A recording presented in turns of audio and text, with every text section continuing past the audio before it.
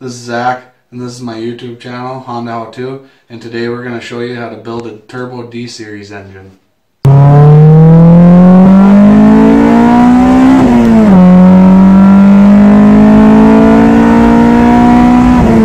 Okay, to start off, we're going to be putting in our main bearings. These are ACL race bearings that we're going to be putting in. I've never used anything but ACL, and they're a pretty good product, so let's get to it. Okay, so first you want to pop these bad boys in. Make sure the bottom of the bottom of the journal of or whatever you want to call it of the block is dry. Do not lube that at all. Set her in, and we'll just go down the line.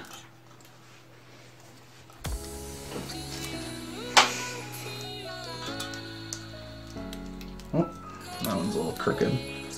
Get it in there. Okay.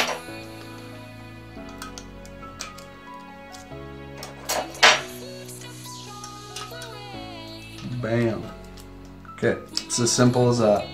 Make sure everyone's nice and set down in there. Okay, now we're gonna take our assembly lube and we're gonna lube these bad boys up. Be kind of generous with the stuff.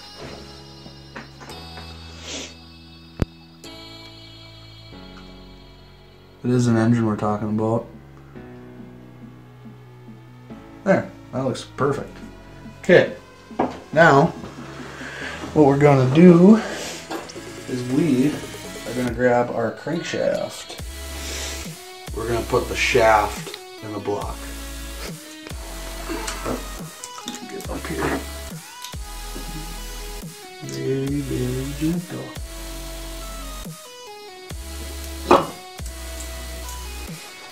There we go. Cool beans. Alright, now we're going to be placing the girdle on there. I suppose we should get some bearings in this bad boy too. So let's pop these guys in there.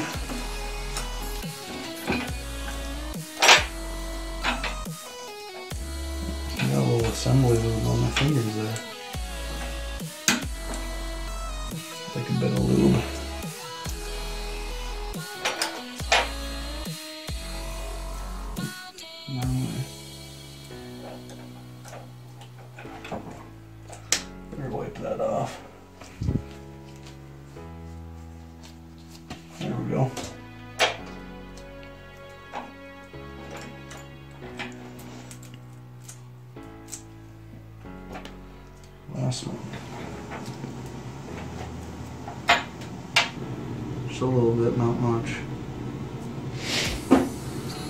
And then scoot the crank over a little bit. Slide her in. Nice and deep like.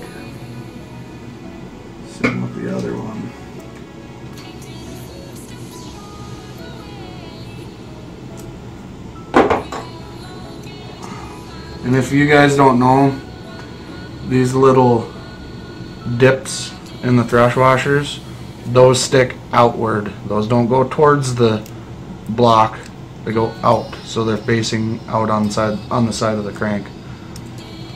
Just move the crank back over. See if we can get this guy to slip in there. There we go. Now we're not gonna deal with what DSMs deal with. Crank lock.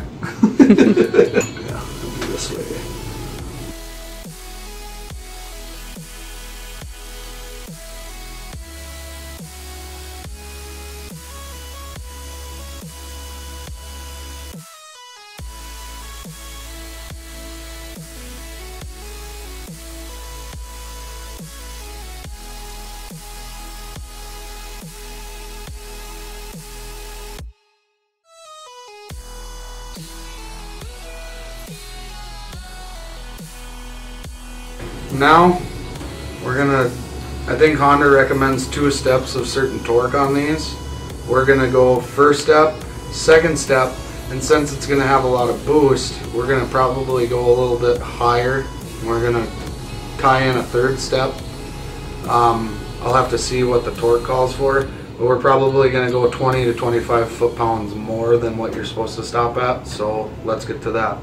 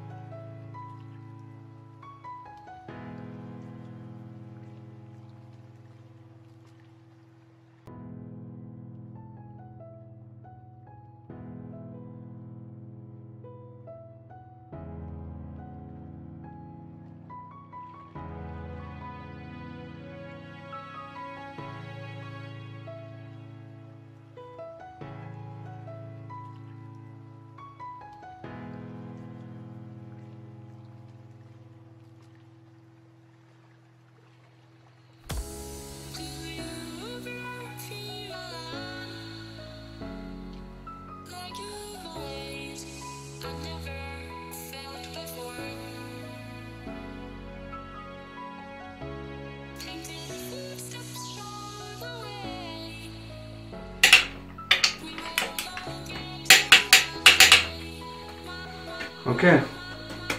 Now the crank should be done. Now it's time to pop pistons in this bad boy. Okay, now we're gonna flip the block and we're gonna try to keep this episode short. We're gonna show you guys how to put one piston in and then we'll pick up on the next episode.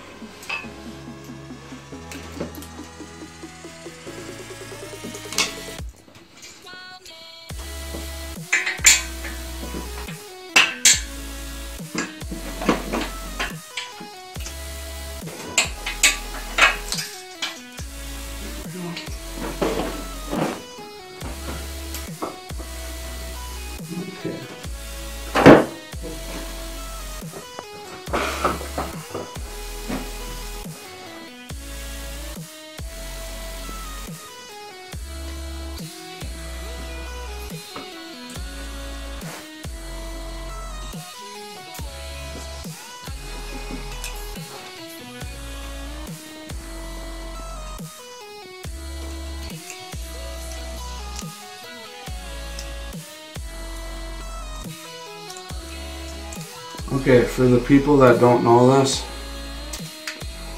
this little notch on your bearing, this, that notch, see if I can get you to see this. See how this side's bigger, deeper indent? That's your intake side. That notch always goes to your exhaust. And on the bottom of your connecting rod cap, always goes in line. So it pretty much interlocks those two little notches, just like that. Okay. Now, get some fucking lubrication up in this bitch.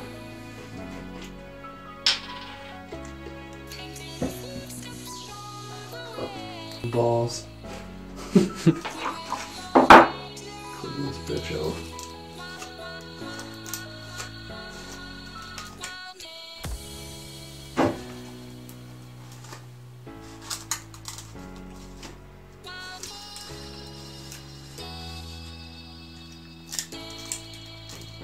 Okay.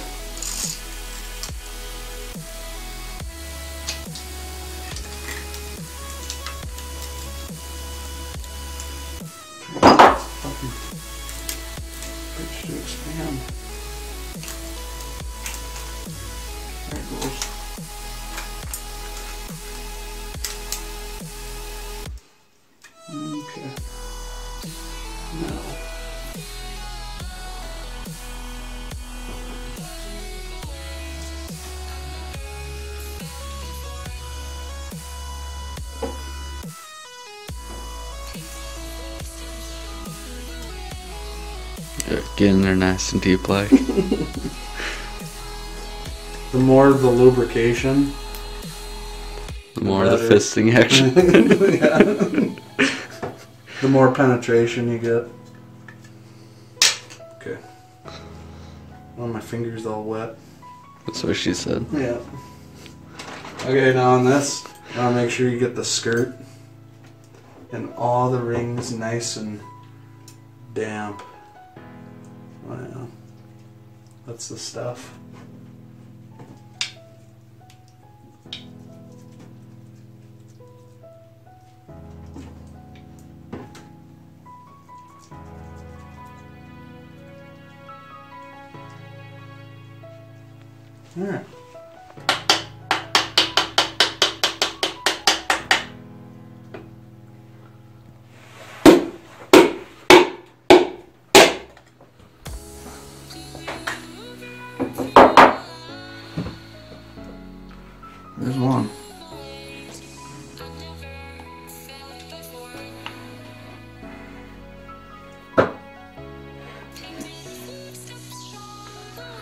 Okay, now we should turn the crank a little bit. Get that bad boy. in there. Okay. Now, let's get our cap. Got our cap. Lube some on there. Now remember you want those little notches right there to interlock. So we're going to be putting this notch on the opposite side of this notch.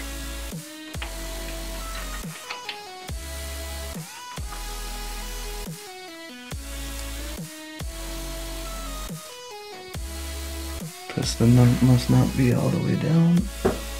Get a little hammer heck here.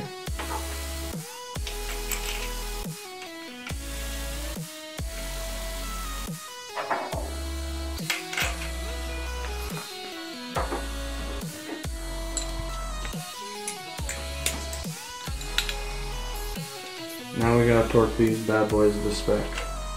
What ARP says, we're gonna go just a tad higher. And you wanna tighten these up even. Because if you get a cockeyed rod cap, that'll be a bad, bad, bad day.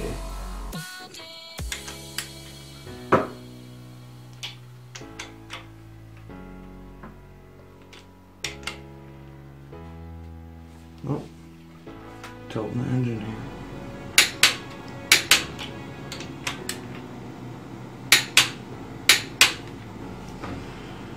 And that should be it. Okay. Well, that should be it for now. We'll probably put all the rest of the pistons in the next episode. Be sure to stay tuned. We're going to be getting this thing rolling here pretty soon. So if you like this video, please subscribe, share it to your friends, and that'd be much appreciated. I'll see you guys in the future. See you later.